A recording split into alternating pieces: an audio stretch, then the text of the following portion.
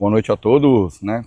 Eu tenho falado sempre dentro das entrevistas é glorificar e agradecer a Deus, né, pela oportunidade de, de comandar o, América, de ter esse trabalho sendo desenvolvido, é, o meu grupo de jogadores, né, o nosso grupo, a nossa equipe como um todo, o grupo de staff, né, a gente tem falado aí e, e, exaltado muito, né, aquilo que Deus tem colocado e tem feito nesse, nesse trabalho aí. É importante, jogo que, é, é que nós precisávamos vencer, né, e, e fica difícil até quando busca essa motivação, sabendo da equipe do, do da equipe do Globo, da equipe do Força Luz, perdão, mas nós fizemos aquilo que precisava ser feito. É claro que depois do 3 a 0 num segundo tempo, a gente priorizou também alguns atletas que estavam com volume alto, com, com, até com desconforto. A gente foi tirando no decorrer do jogo, né? E foi aumentando a minutagem de outros e colocando outros para jogar, o próprio Henrique para que possa é, ganhar né, minutagem no profissional, numa situação diferente.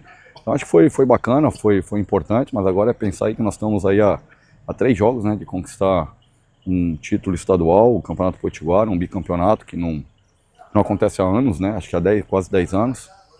E aí com esse, com esse jogo, com essa vitória hoje também, é, números importantes, né? São 12 jogos é, sem perder, mas a gente tem pensado muito jogo a jogo, não temos levado isso para dentro do vestiário, até para não trazer uma responsabilidade maior, né? Mesmo sabendo que é, é um número que há muito tempo não acontecia pelo América, mas nós temos que focar naquilo que se faz necessário, que é a conquista do título estadual. E dando tudo certo também, né, Marquinhos, no planejamento, tipo, jogo anterior teve jogador, né, sendo quebrado sequência, aquela coisa toda, e hoje você oportunizando mais tempo para quem vem do banco de reservas, também para ter é, até mais oportunidade de avaliação sua e da comissão técnica também, como é o caso do Henrique, por exemplo. Sem dúvida, né? acho que é importante, estamos entrando numa reta final de competição estadual, é, ganhando atletas aí com minutagem, né, e colocando, adquirindo experiência, adquirindo minutagem. Gostaria de ter colocado o Fernando, na verdade, hoje. Estava no meu planejamento de colocar o Fernando, o atleta também é oriundo da base, mas como o Jansen ali acusou que estava um desconforto ali na posterior, achamos melhor, né, em preservá-lo, e aí não foi possível a quinta substituição sendo o Fernando, mas por merecimento até a entrada do Igor ali na função dele, né, é, ele já nos ajudou na lateral direita, quarto zagueiro, lateral esquerdo, até centroavante. Hoje ele entrou na dele, eu acho que por merecimento e mérito do que ele vem trabalhando.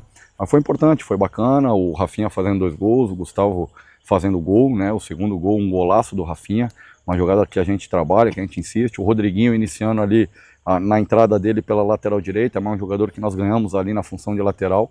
E depois, com um a mais, a gente procurou colocar o Rodriguinho para dentro, é, proteger um pouco mais o meio e dar liberdade mais para o Henrique, para o Buiu, né?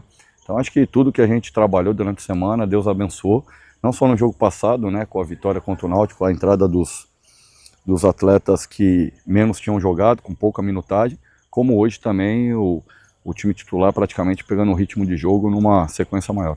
E no jogo como hoje, o Rafinha jogando muito bem, o Rodriguinho entrando muito bem no segundo tempo, lhe dá um pouco mais de tranquilidade para seguir buscando o título desse segundo turno? Sem dúvida, aquilo que nós temos falado, né? Acho que os reforços é, estariam aqui dentro mesmo, né? São atletas de qualidade, atletas que já conquistaram, já tiveram grandes conquistas em suas carreiras. E era uma questão de tempo, uma questão de preparação, não só tempo de trabalho, mas também no, no quesito mental, né? Recuperar esses atletas emocionalmente, psicologicamente.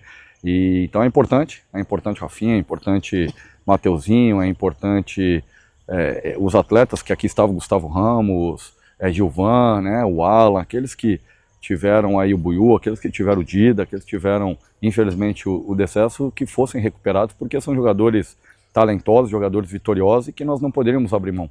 Eu falava isso desde que eu assumi, né, que nós tínhamos que recuperar esses atletas aí e Deus tem abençoado, porque são atletas de caráter acima de tudo.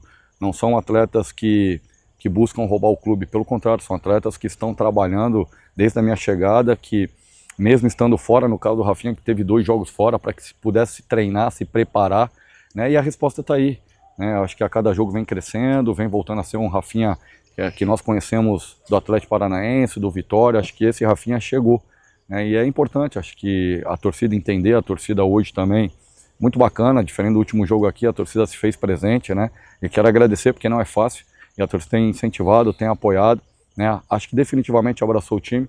E espero que na quarta-feira contra o Potiguar até possamos aí ter um número maior no estádio para que se possa é, buscar, quem sabe, essa primeira colocação, né?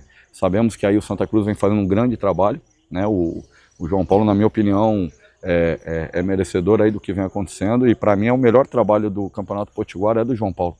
Para mim tem sido o melhor treinador da competição por aquilo que ele tem tirado da equipe, né? Então a gente está agora na corrida atrás do Santa Cruz, essa é a verdade da nossa chave, né? Deixamos pontos para trás, não sabemos o que vai acontecer amanhã no jogo deles, né? Mas é uma equipe difícil que, que sabe jogar aqui, então a gente tem que estar tá muito focado e precisamos do nosso torcedor que definitivamente abraça a equipe, né? Na quarta-feira precisamos, quem sabe aí colocar um número maior, chegar nos 10, umas 10 mil pessoas lá na quarta-feira, para incentivar até esse grupo de atletas aí que tem demonstrado muita entrega, muito profissionalismo e muita dedicação com a camisa do América.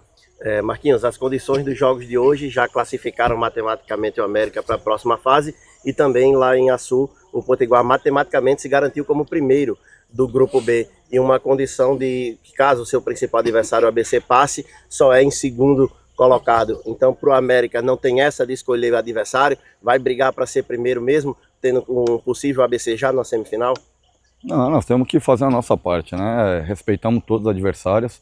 Tem sido assim, né? Desde que do primeiro jogo do amistoso, é, a minha postura é essa, né? Com humildade, com pés no chão, é respeitando todos os adversários e temos que jogar, independente de quem venha, para se conquistar o título você tem que ser vencedor.